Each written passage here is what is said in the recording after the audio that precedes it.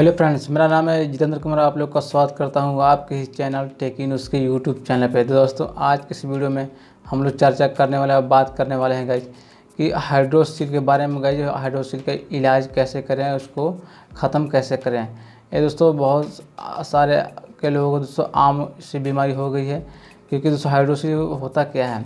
जबकि सब मतलब कोई पुरुषों की बीमारी होती है, जो कि गाय जो अंडा से होता है, इस जगह पर गाय नीचे जो हम लोग को होती है सब, सभी पुरुषों में, वहाँ पर सो, उस अंडाशय में पानी की मात्रा ज़्यादा बढ़ने लगती है, जिसकी वजह से वो फूल जाती है मतलब फूल कर जिससे बड़ा रूप लेने, रूप ले करके वो प्रॉब्लम देने लगती है। चलने में बहुत ज़्यादा बहुत ज़्यादा प्रॉब्लम करती हैं, जिससे कि दोस्तों बाद में गाय इसको ऑपरेशन करा गए ऑपरेशन के थ्रू वहाँ से पानी निकाला जाता है, जिससे कि वो अपने आप से कूटने लगता है, जिससे ऑपरेशन कराते हैं। तो अगर दोस्तों अगर आपको ऑपरेशन से डर लगती है तो इसका आपको आसान सा ट्रिक बताऊँगा गाई इस ट्रिक को करके महज सिर्फ़ आठ दिनों के अंदर ही आपका हाइड्रोसल की बीमारी से आप निजात पा सकते हैं।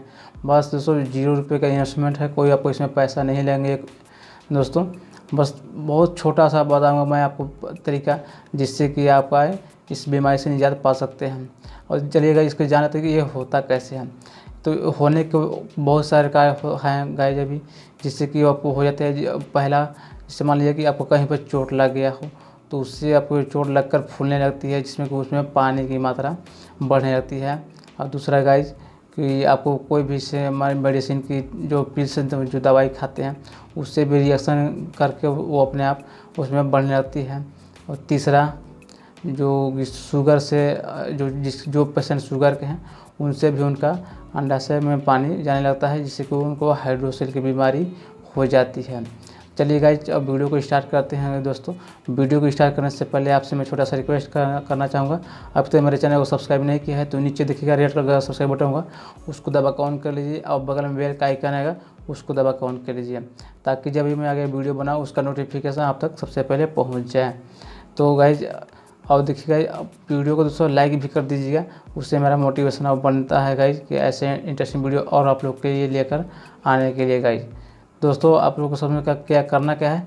आपको काला एक धागा लेना है। लगभग दो बीता से इस तरह से दो बीता का नाप कर लेना है।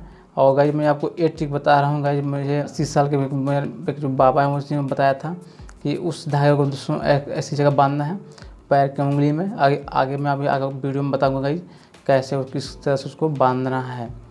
तो चलिए दोस्तों, उसको अपने आगे से उसको बांधना है और उसको सिर्फ़ आपको पैर में बाँध के आठ दिन तक रखना है गाइज़ और वीडियो अच्छा तो वीडियो को लाइक भी कर दीजिएगा। तो फ्रेंड्स, ये देखिए काला धागा है गाइज़ ये आपको देखिए फ्रेंड्स, आपको कहीं पर भी मिल जाएगा काला धागा।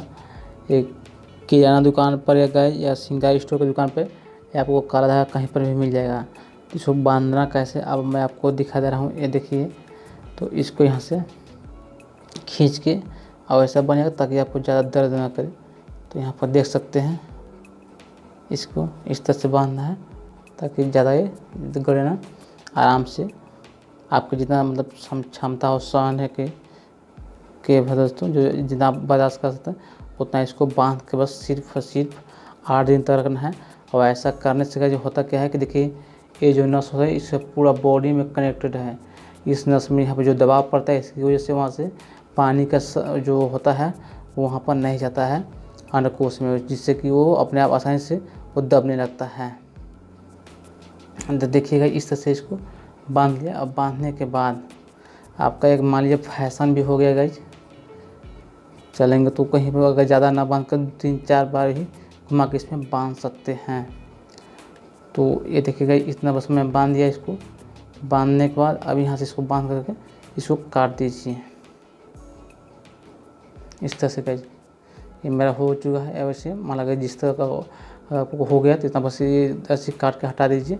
और अपना इसको आठ दिन बस रख रही आपको खुद रिलीफ रिलीफ मिलना स्टार्ट हो जाएगा। जैसे रिलीफ मिलेगा मिलने लगा गई तो मुझे ज़रूर कमेंट करके बताइएगा गई कि मुझे रिलीफ मतलब मिलने लगा। आपके बताए हुए टोटके से मुझे असर हो रहा है। तो दोस्तों, मैं अब मुझे और मुझे बहुत खुशी होगी गई आप लोगों का हेल्प करके। दोस्तों, अगर वीडियो अच्छा तो वीडियो को ज़रूर एक लाइक कीजिएगा।